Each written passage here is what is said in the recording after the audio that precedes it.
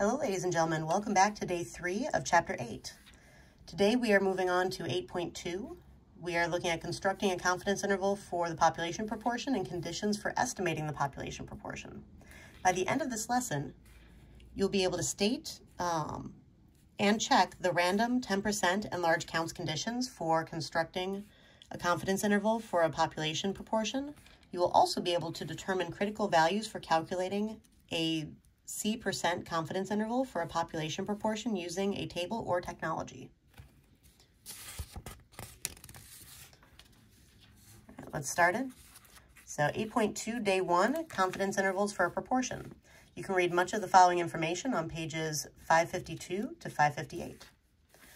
Right, so we're often interested in estimating the proportion P of some outcome in a population. So here's some examples of questions that we might look into. What proportion of U.S. adults are unemployed right now? What proportion of high school students have cheated on a test? What proportion of pine trees in a national park are infested with beetles? What proportion of a company's laptop batteries last as long as the company claims? So in this section, you will learn how to construct and interpret a confidence interval for a population proportion that would be able to answer some of these questions. Notice it's asking what proportion. That indicates that we want to figure out an estimate, which is why we would be using a confidence interval for our method. So constructing a confidence interval for a population proportion. Let's start with what is the name of the procedure we use when calculating a confidence interval for a proportion. The formal name is a one sample z interval for a population proportion, or a one sample z interval for p. One sample because we are taking a single sample from a single population, z because that is going to be our critical value, referencing z-scores from normal curves, and an interval, meaning we're coming up with a an interval of plausible values, and then identifying what we're finding that interval for. All right, so one sample is the interval for P. And we can do this when conditions are met. So when conditions are met, a C percent confidence interval for the unknown um, proportion P is as follows. We would take our point estimate, our sample proportion, plus minus our critical value, which is Z star, times the square root of P hat times 1 minus P hat, all divided by N. So this formula is where Z star is the critical value for the standard normal curve with C percent of its area between negative Z star and positive Z star. So the central area will match the confidence percent. And then we're trying to figure out how many um, standard deviations from the center of our distribution we would need to be to encompass that percent in the middle. Now, let's start with the conditions. So what are the conditions for estimating P? And I highly recommend that you read page 554 for additional explanation. Right? There's much more in-depth information on page 554. I couldn't fit it all here. Now without making this video 20 years. All right, so to make sure the formula for a one sample Z interval for a population proportion is valid, we need to verify that the observations in the sample can be viewed as independent and that the sampling distribution of p hat is approximately normal. So these are the two main things that we're looking for. Now we do this by checking three conditions. And let's discuss them one at a time. So first of all, we have the random condition. The data come from a random sample from the population of interest. We actually need to be able to state this. Now don't just tell me it comes from a random sample, tell me what random sample was taken.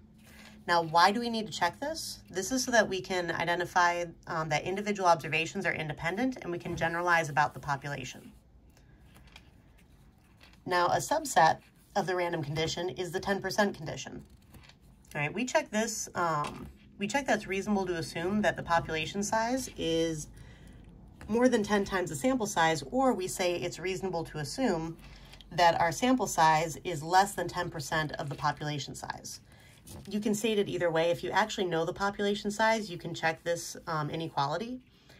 If you don't know the population size, then you can just state it's reasonable to assume that the sample size is less than 10% of the population size. Now, why do we do this? Right? This is so that we can view observations as independent, even though we're sampling without replacement. Now, this condition came from our sampling distribution condition. Right? In order to calculate our standard deviation formula for our sampling distributions, we had to ensure independence. Random sampling ensures that the individual observations are independent of each other, but if we sample more than 10% of our population, then our standard deviation formula is not going to accurately estimate what the standard deviation really is from our sampling distribution of p hat. So we have to do also double check the 10% condition as well. Now this is only checked when we are sampling without replacement. If you're flipping a coin, coin flips can happen infinitely long and the process itself is independent. This is only sampling without replacement from a finite population. Now, the last condition that we need to check is that we can actually use an, a normal curve to approximate the sampling distribution of p hat. For this, we use the large counts condition. Again, in chapter 7, we learned that we need to have our sample size times our population proportion greater than or equal to 10, and our sample size times um, 1 minus our proportion greater than or equal to 10. Now, we don't know our population proportion when we're calculating an interval. So we replace the population proportion with the sample proportion. Essentially, we're looking to see, do we have at least 10 successes and 10 failures from our sample data? And why do we look at this? This is so that the sampling distribution of p hat will be approximately normal and we can actually use z star to do our calculations. Now, the general formula for a confidence interval in AP statistics is as follows. The confidence interval is equal to the point estimate plus minus the margin of error. And the two factors that determine the margin of error are the critical value and the standard error of the statistic, which are z star for the critical value and the square root of p hat times 1 minus p hat divided by n is the standard error of the statistic. Okay, let's move on to our next page. And let's talk more about the standard error of p hat and what it measures. So what is the standard error of p hat? What does it measure? The definition, when the standard deviation of a statistic is estimated from data, the result is called the standard error of the statistic. So when we have to use our sample data to help us estimate the standard deviation, we change the name from standard deviation of statistic to standard error of statistic. Now, as you learned in chapter seven, when the 10% condition is met, the standard deviation of the sampling distribution of p hat is approximately the square root of the population proportion times 1 minus the population proportion divided by n. Now, all of this is within that square root. Now, in practice, we don't actually know the value of the population proportion. If we did, we wouldn't need to construct a confidence interval for it. So in large random samples, p hat will be close to p. So we replace p in the formula with the, uh, for the standard deviation of the sample proportion with p hat to get the standard error which we often abbreviate as SE, of the sample proportion p hat. All right, so standard error of the sample proportion is equal to the square root of the sample proportion times 1 minus sample proportion divided by n. The only thing that changed was subbing p hat in place of p. Because in our large random samples, p hat is going to be close to p anyway, so we can go ahead and use it for our estimate. The standard error of p hat is an estimate of the standard deviation of p hat using data from the sample. Therefore, the standard error estimates how far the value of p hat typically varies from the population proportion. Now, how do we calculate a critical value for a confidence interval for a proportion? We know how to calculate our standard error of statistic. Now let's look at how we calculate z star. All right, so For our example here, find the critical value z star for a 95% confidence interval. So the central area is 0.95. 95%, so 95 divided by 100 gives you 0.95. Notice that over here we have the central area identified as 0.95. All right, so just as a reminder, the critical value is a multiplier that makes the margin of error large enough to give a specific amount of confidence that the interval um, contains the value of the parameter.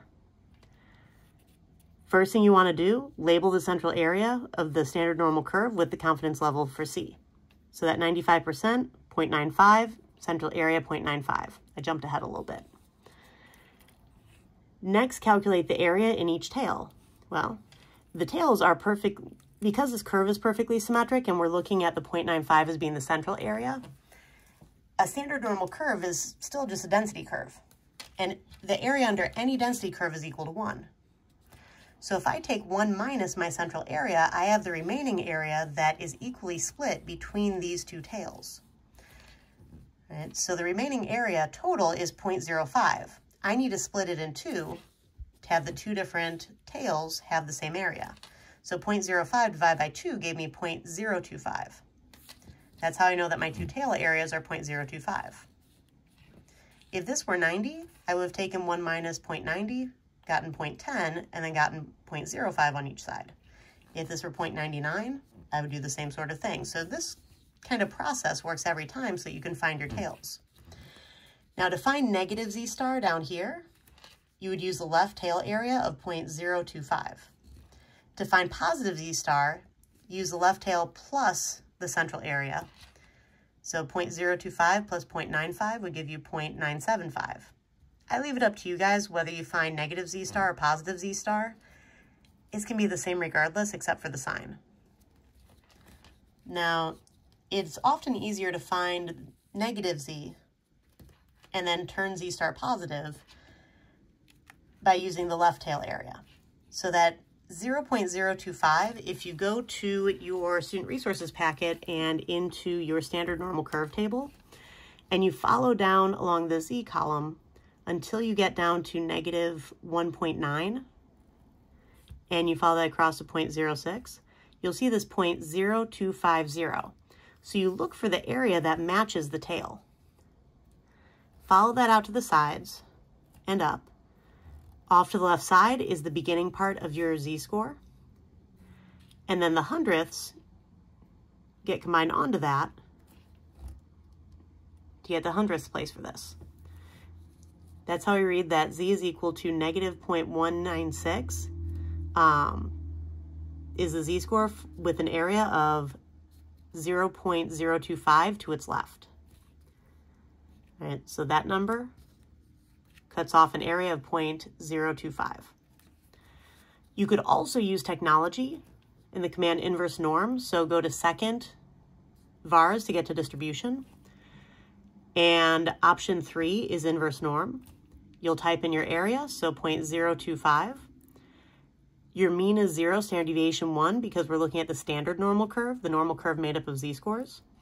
And that gives us a z-score of negative 1.96 also.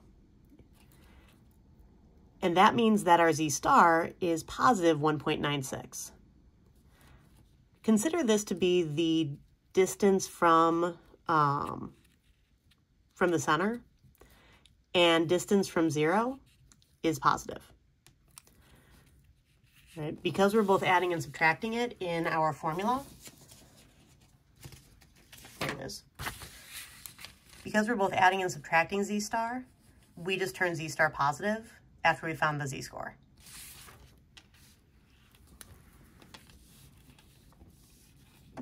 Right. Now, if you want to get a positive z-score so you don't have to remember to turn it positive, you could just use the total left-hand area up to positive z-star, which in this case is that 0.025 plus that 0.95 which gives you this. So that's where I'm using the 0.975 as my area, mean of zero, standard deviation of one, and using inverse norm, that gives us a z-score of positive 1.96, so z star is 1.96.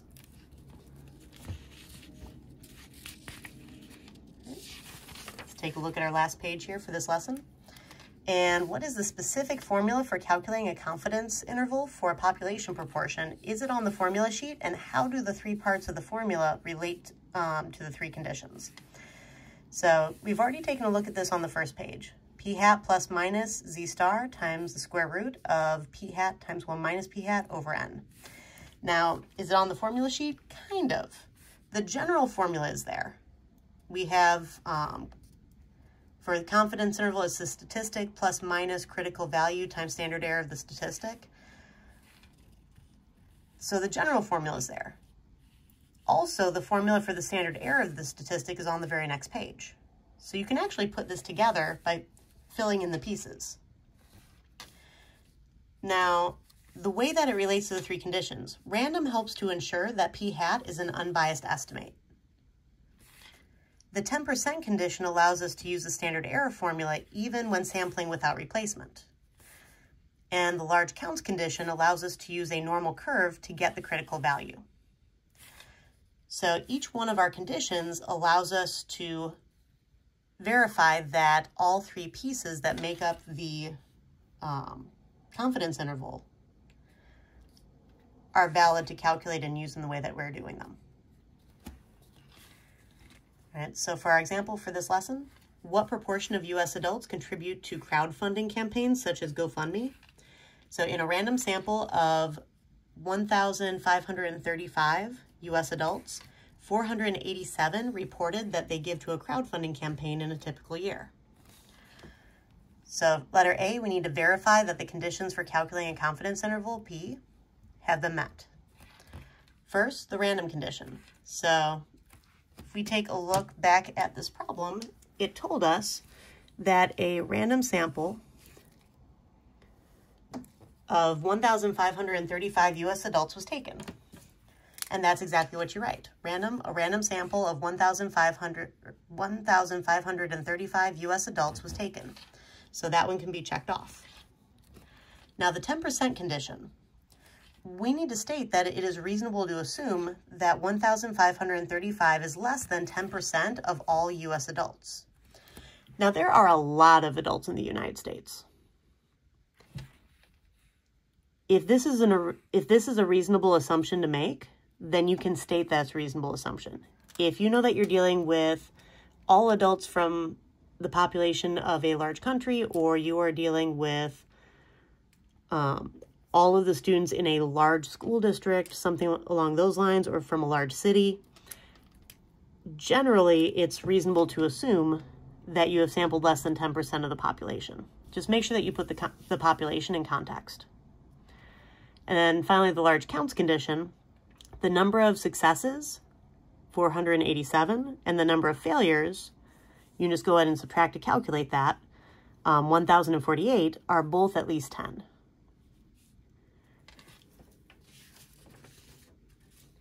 So this part right here, where we were taking n times p hat greater than or equal to 10 and n times 1 minus p hat greater than or equal to 10, this is how you would calculate this if you were given the sample proportion instead of the raw values.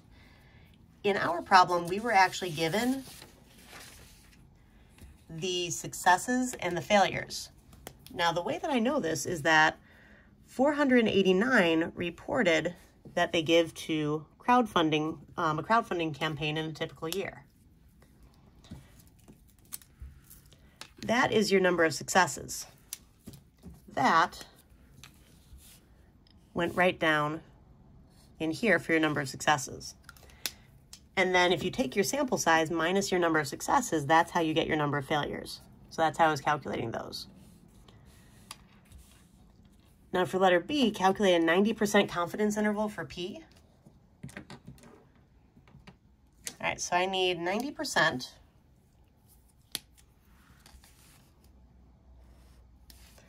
And that's why I have 0.90 in the middle of my normal curve here. So let's see what all we need to calculate. To calculate our confidence interval, I need p hat. So I took p hat equals my number of successes divided by the total number of people asked which is approximately point, uh, 0.317. I did round here. So that is going to substitute in place of, so p hat, this number, substitutes in place of p hat in my formula here here, and here. And so you can see that those are the place, the three places where p hat shows up in your formula. My original sample size goes in place of n down here at the bottom. And the only other thing that I need to find is my z star. That's what I'm doing down in here. So my sample purport, or my um, sampling distribute, uh, standard normal curve, apologies for that. So my standard normal curve has the 0.90 as the central area. I have 10% um, for the total outside area, which would be basically 5% or 0.05 for my outer tails. So if I use that left-hand tail of 0.05, z is going to equal inverse norm area of 0.05, mean of zero, standard deviation of one, because I'm dealing with a standard normal curve for z-scores. And that equals negative 1.645 approximately. So that means that z star is going to be positive 1.645. And that's my remaining value that I'm putting into my formula. So the answer I got from right here replaces z star right there. And then it's just a matter of entering the values into the calculator. I typed all of this on the other side of the plus minus sign into the calculator to get approximately 0 0.1 or 0 0.0195. And then I took the 0 0.317, which is my p hat, minus 0 0.0195 to get 0 0.2975. And I also added it onto the 0.317 to get 0.3365. And when you're writing your interval, you write it um, basically using inter interval notation, your lower bound, comma, your upper bound. Within parentheses, the parentheses represent that we don't necessarily include our outer boundaries because we can't get exact values for those. And then finally, interpret the interval from part B. We are 90% confident that the interval from 0.2975 to 0.3365 captures the true proportion of U.S. adults who would typically give to a crowdfunding campaign in a typical year. I use the context from right here.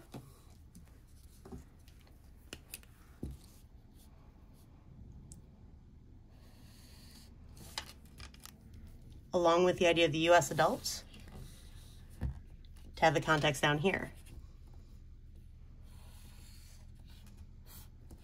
And I use the word true proportion to identify that this is the population. Okay. Try these problems, and I'll see you in class.